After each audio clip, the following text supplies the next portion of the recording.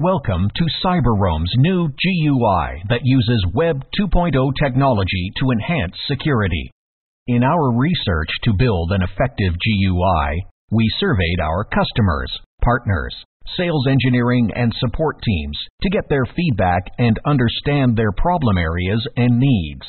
Our research concluded that UTM customers expect greater depth and breadth of security in features while demanding ease of use and interfaces that involve shorter learning curves, fewer security errors, and downtime. After all, a firewall is as good as it is configured.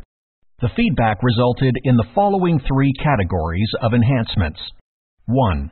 Intuitive and easy to use GUI leading to a shorter learning curve. 2. Object-oriented approach. 3. Shorter time to complete a task. Let's take a tour of the new features added in the next generation GUI. Firstly, we did a logical grouping of the menu items and introduced the accordion menu and structure, which makes things much more visible and easy to navigate. There are many links that we have made directly accessible from the main screen. These are Reports on the top panel, Status bar, displaying all the status messages at the bottom, actions like reboot and shutdown on the dashboard. One of the important enhancements in the new GUI is the visibility of unsubscribed modules. Users can know which modules are unsubscribed through the yellow buttons placed on the right edge of the menu.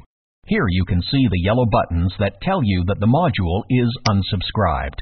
Clicking on that yellow button takes you to a page from where you can subscribe that module. Next is the Where Am I feature that helps the user know his current location in the menu with this inverted triangle icon. There are sleek Web 2.0 pop-ups in the new GUI that help you remain focused on the task at hand without switching between windows. You don't have to worry about the pop-up blockers, too. One of the most important configuration screens in a UTM is the Firewall Rules page. Cyberoam's next generation GUI offers a total system snapshot from the Firewall Rule page. The administrator can see all the security policies applied for a particular user and can also view details of the policies from the firewall page. The policies can also be edited without leaving the firewall page. The Select Column controls allow you to simply click and select the columns you want to see on a particular page. You can even change the position of the columns in the page using these controls. You see the web filter policy details here. You can edit them without moving to another page.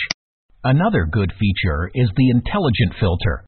Users can now get answers to questions like, which firewall rule processes my IP address? He only needs to filter the IP address in the source column to get a full list of rules from which it passes. Group control is another useful enhancement. When a user wants to select more than one object and assign it to a group, this control comes in handy. He can very easily type and search the required objects and add them to the group. It's that simple. Pagination has been introduced for pages that are longer than the scrollable screen size. Pages meant for bulk addition need to be treated differently. For this, we have used a tabbed data entry control. The tab key can be used to add new entries without leaving the keyboard. And last, but certainly not the least, the new user interface also allows to choose the UI color styler. Just go to the Themes page and select from the available options. That's our next generation GUI. So simple to use, it saves time,